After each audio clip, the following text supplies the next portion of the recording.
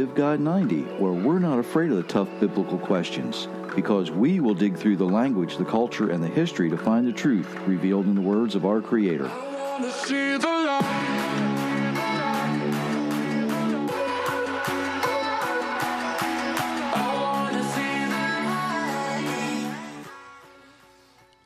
Well, hello, everyone.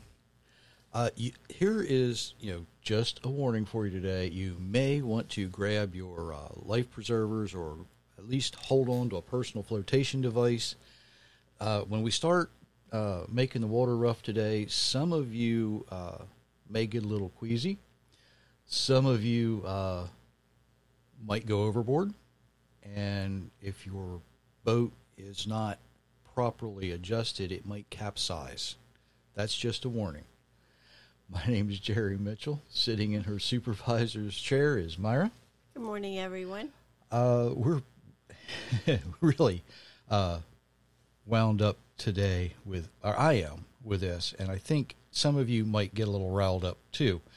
Um, I, I want to start today by saying if you're new here, we thank you. If you've been listening for a while, we really appreciate you check out givegod90.com. See what's there. You might you might be surprised. If you like what you hear, you know, we really like it when you hit those share buttons. Don't forget uh, to turn on the notifications. That boosts everybody up in the algorithms. And you can reach out either uh, live if you're listening live or later uh, through one of the social media places where we're at. Somebody did that the other evening after they uh, heard one of our podcasts, uh, and it was it was obviously after I went to bed. they ha- had a question. I, I, apparently wasn't as clear, maybe as I should have been with something. Um, but it, I'm kind of glad that it happened the way it did because it actually sparked a thread of responses in that social media group that this question was asked in. And, and I encourage that kind of thing. Okay, as long as you keep it uh, direct and and respectful and and all those good things. But the concepts and ideas that, that people had really sparked from just a, a simple question. I, I, thought it was fascinating to read the, the whole list of comments. Because what was going on were these folks were, were digging for answers they were actually studying. They were doing things. They were seeking. They were searching.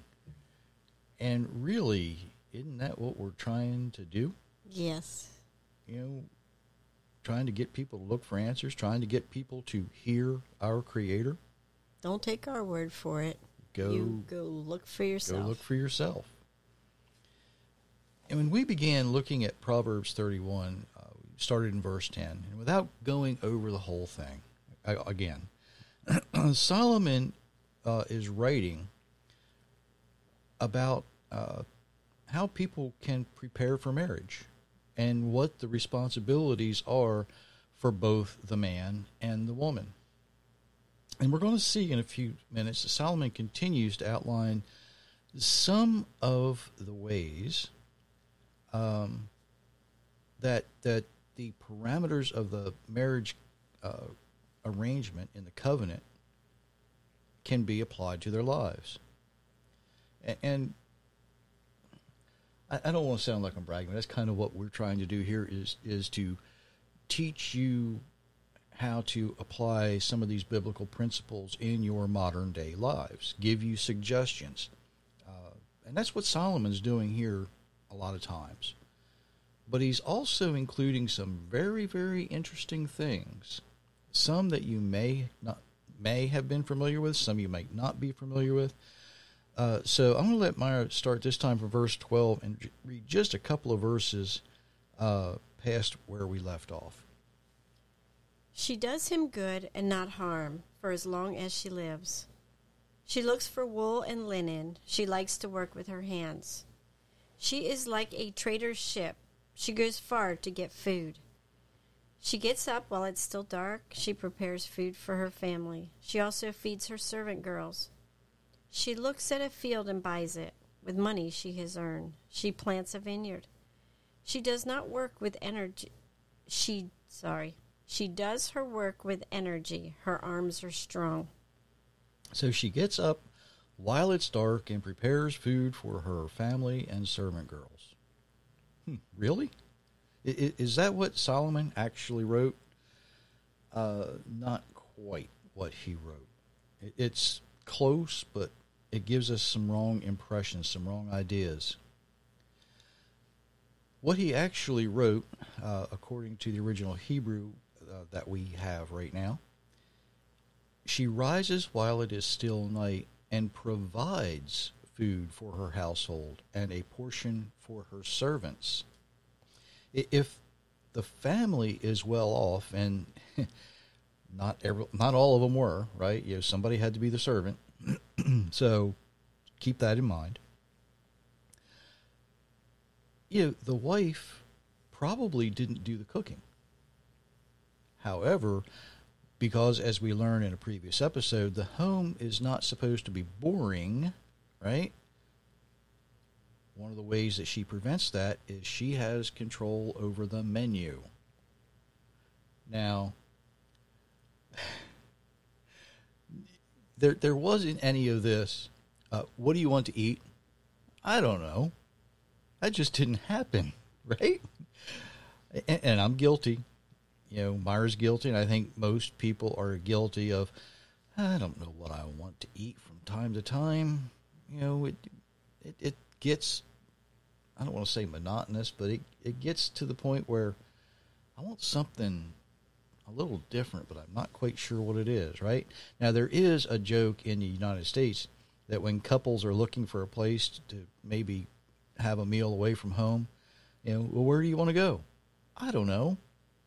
And now there's quite a few restaurants propping up called I don't know. You know, makes sense. Perfect marketing scheme, right? Now think about this. If the family is not fortunate enough to have servants, the wife may actually prepare the meals. She might actually do the cooking. What happens if the wife is not a good cook? Now, that happens. I know uh, and, and, and I'm- not going to name names here, but I know one person in particularly, or in particular, uh, in our family. Uh, she can't boil water. She made chicken once, and it was okay, but she put a lot of other stuff on top of it. she tries, but she's just not that good of a cook. What Doesn't happens? do it enough. Well, no, she mm. doesn't. Well, you know, and some people never learn. They they never understand how the whole cooking process works. They don't understand the, the process of using spices uh, properly. So when that happens, you know, do you think the guy's going to go hungry? No, he's going to do the cooking. He's going to prepare the meal for the family. And if there's children involved, well, you know, he cooks for them too. He fixes their food. However, according to Solomon, the menu is controlled by the ladies.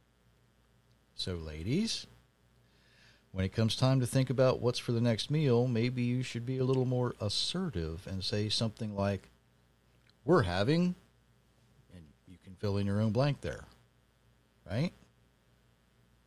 Men, here, take, take a clue, unless it's completely inedible, eat it like it's the best thing she's ever made. Okay? Careful there. I'm watching your face. Um, do you really want me to tell that story? Good.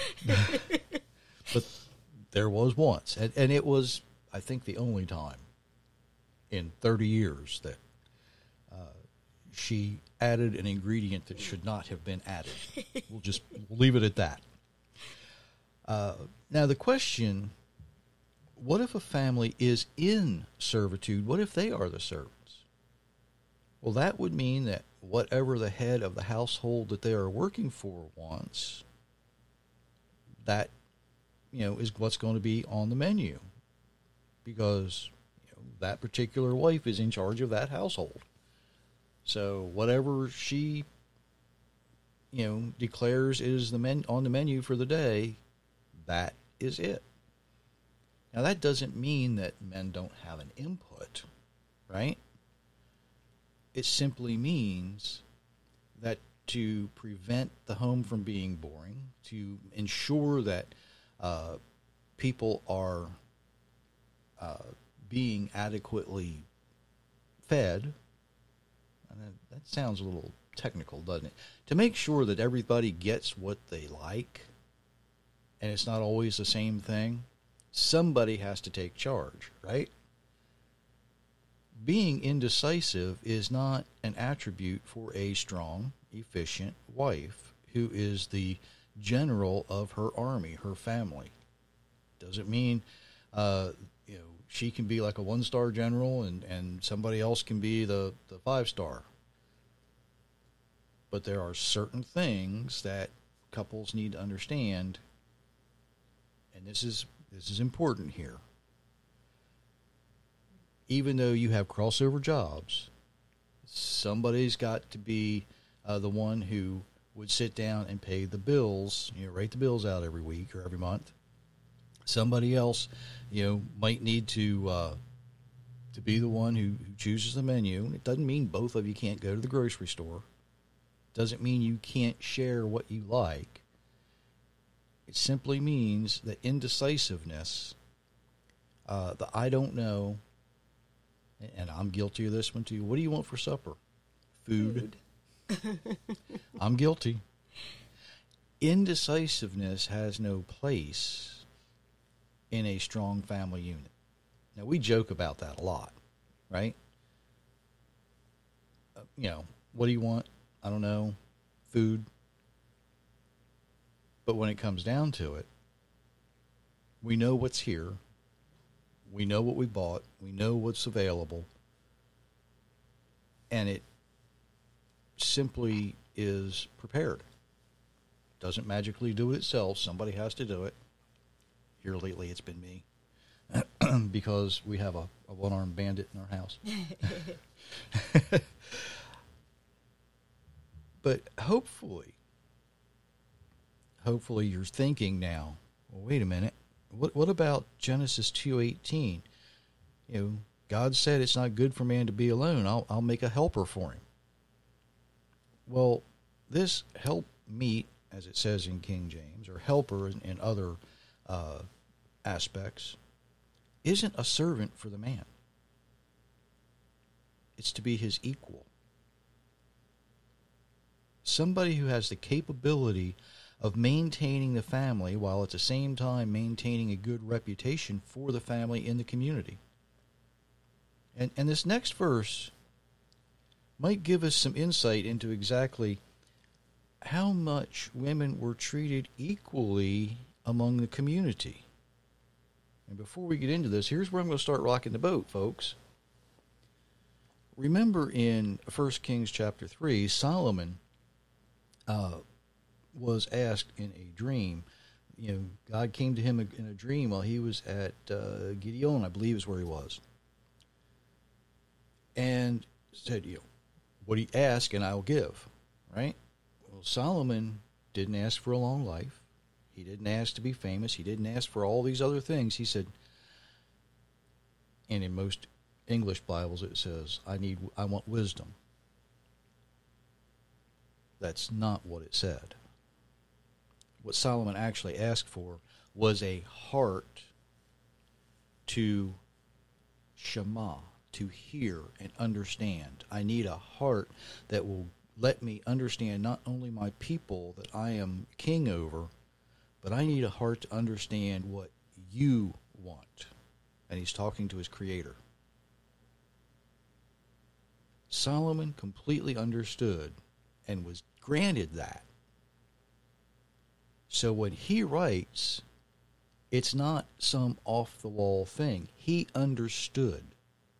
He had written out his own first five books of our Bible. He had written it out in front of the priest so they knew he had it right.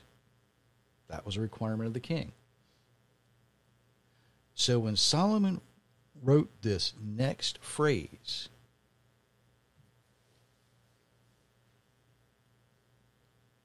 she looks at a field and buys it. She looks at a field and buys it. With money she has earned, she plants a vineyard. Does that rock your boat for some of you? For the folks who were brought up, uh, for the folks who were brought up in some denominations, it may. Because, wait a minute, women were property. Fathers gave away their daughters, right? Fathers sold their children, their daughters. And now all of a sudden we're reading she can purchase property? How does property purchase property? oh. Somebody out there overboard yet? It's right here. It's right here. Now, the actual word, she considers, and that word considers means to plan carefully. She plans carefully. It's not something she jumps into. She buys a field, and here's where things, again, you've got to understand where they're coming from, with her fruit. Now, what is fruit? Uh, Matthew 7 16, you know them by their fruit, right? Fruit can mean many, many things in Scripture. It doesn't necessarily always have to be money. It doesn't always necessarily have to be uh, past actions, as you'll know them by their fruit.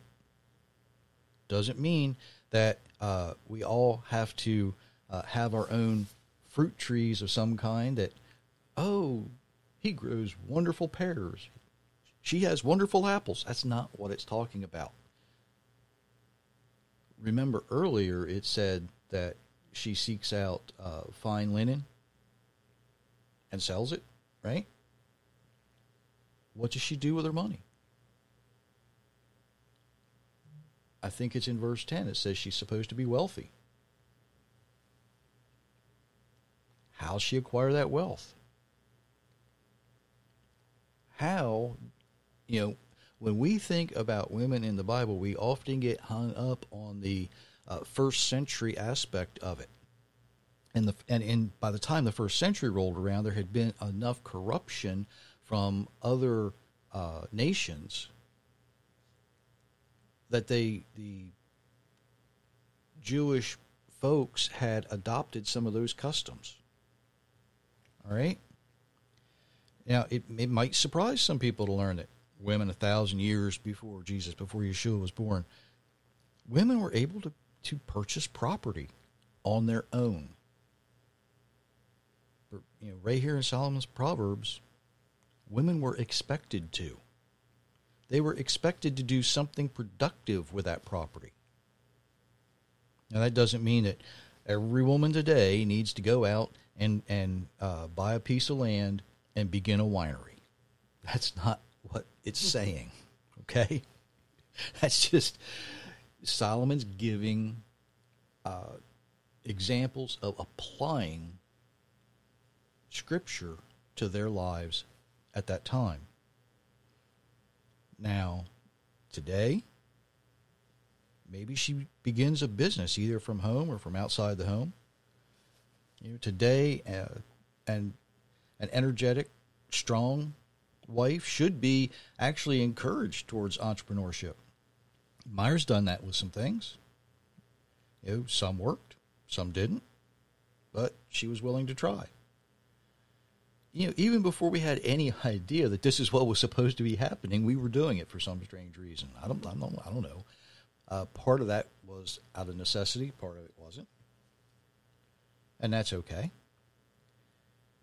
You know, in the in the United States, we have mistaken that women should be stay-at-home moms and make you know make sure supper's ready and waiting for the man comes home from work, right? Well, the television shows of the 50s and 60s, 1950s, 1960s contributed to this notion. But that's fiction. Solomon's writing about real life.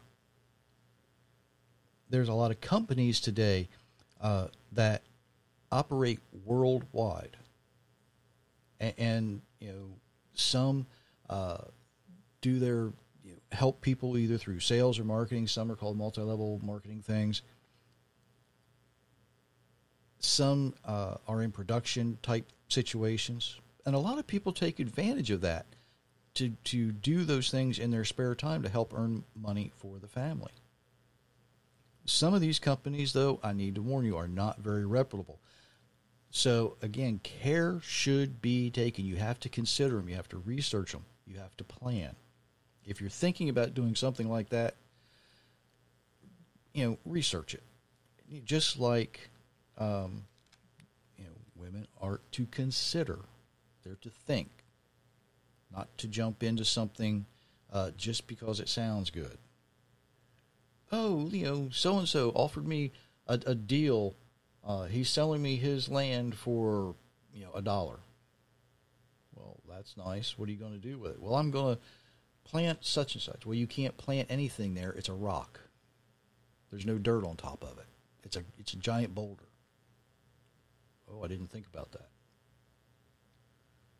You think about those things before you buy it, not after it says she considers the field, right? Plan carefully. Uh, you know, it. The original word in Hebrew can also mean to purpose, to devise. It's even been translated in some places as scheme in some translations.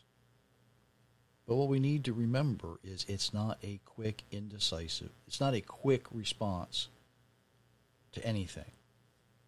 You've got to weigh out the good, you've got to weigh out the bad, you've got to do it all.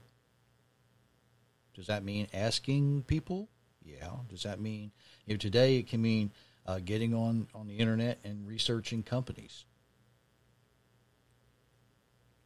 right? Now, I, I don't know how many of you have ever planted a vineyard. It takes a lot of effort to plant a vineyard, right? You know, when the plants are ready to be put in the field, originally grapes grow from seeds, right? Today we have hybrids that are actually uh, you take grafts out, but when you start a plant from seed, you don't just put a grape seed in the ground and expect to have you know a vineyard. You have to take care of them. You have to raise them up to a certain level, and then you have to go dig a hole when the plant's big enough, you have to go dig a hole, but the, the hole needs to be bigger than the plant because underneath of that plant, you're going to put the nutrient rich compost or or something that is going to jumpstart that plant. It takes effort. After that, once you get all that done, that grape doesn't just grow up by itself. You've got to then put some type of support system up for it, an arbor, right? That takes effort. That takes work. Isn't it, isn't it amazing how this one little she she considers a field and buys it to plant a vineyard verse can look like um, if I want to start a business, I've got to prepare everything that I need for it just right. And then, uh, after the groundwork's all done, you know, my business can, can, can grow, but I need this support system. Now, today, in, you know, in today's world, if you're uh, maybe producing something and shipping it out, you might need a contract with UPS or FedEx or somebody to get a better deal on your shipping cost. That's your support system. It's more than just your customers. It's more than just the, the people who are buying your product. It's more than just the people you're talking to. If you're in a marketing thing, you know, your communications, whether it's email, text, uh, Zoom, all of that's part of the support system. And it has to be in place for your business to grow. It's a lot of work to establish a reputable, successful business, but it's worth it. And I th- hope, you know, I didn't actually capsize anybody's boats, but I probably uh, have just given you much more to think about than you've ever thought about before when it comes to that kind of a thing. She considers a field. She buys a vineyard. But let's not stop there. Let's move on to verse 17. She does her work with energy. Her arms are strong. Um, That's not me right now. that's not you right now. It, it actually, the closest English word is she girds herself with a strong body. Huh? She strengthens her arms. It is pretty easy to understand. The gird's one of those biblical words that we don't use anymore, right? It actually, uh, in, in the late 17, early 1800s, it meant to wrap with a flexible substance. Well, let, let's just cut to the chase. She stays in shape. All right. She doesn't let herself get weak. Up until a couple years ago, that's exactly uh, what Myra was doing. After she got hurt, was a different story. It doesn't mean she spends hours at the gym, right? But she maintains her physical strength. Her arms are strong. Now, now this is something I get to see many times a day. Um, after my shoulder surgery, what, just over a month ago now, right? Uh, she needs to keep her shoulder from freezing or locking up.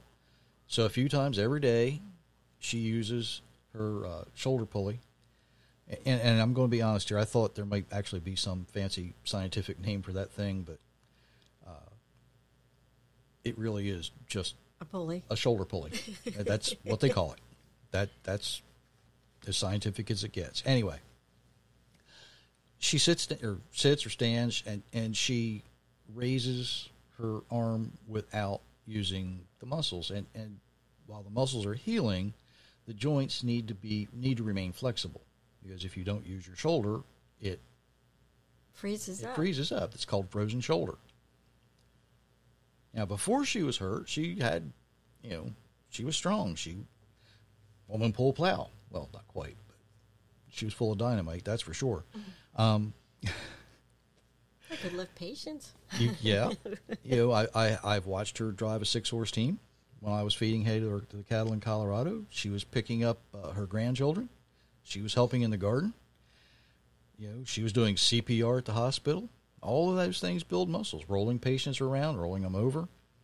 You know, I, I joke about her being a little fragile now, but I have a feeling uh, about a year from now, she won't be as fragile because it takes about a year for her shoulder to heal. And this isn't about being able to pull a plow. It's about being a strong woman, being able to manage a household. It's about the marriage covenant, where each person does everything they're able to do to ensure the family remains intact and reputable. A family that's considered of good character in the community. A family that puts the desires of the Creator above everything else. I, I know that uh, in the United States today, there are at least, uh, well, there, there are a lot of people who probably think that children get into trouble because there's no father in the home for whatever reason, either through death, divorce, or maybe he really is just a deadbeat dad, right? But the mother contributes to troubled children as well. When the mother's not strong, or the mother fails to teach the children and guide them in the way the Creator desires, the child's going to learn from that as well. we, we can't expect a child to automatically live the way they're designed to live unless they're guided into it. And, and I certainly uh, can attest to that. It, it, it took a very long time for me to learn these things. And as much as my parents tried, as they didn't know, they didn't know that these were the things that they were supposed to be teaching me. Um, you can't teach what you don't know. Myra's parents are the same way. As as much as as much as they wanted her to have that perfect perfect uh, you know 1950s wife life, you know, kind of like Harriet uh, Harriet Nelson, right? Wasn't it Ozzie and Harriet? Yeah, Harriet Nelson had. That's not the life she wound up with. All right. And and that's because real life isn't some fictional TV show. Life is tough. And in this fallen world that we live in, you know, it's more important to learn the lessons we have access to in the Bible. If we learn these lessons and apply them to our life,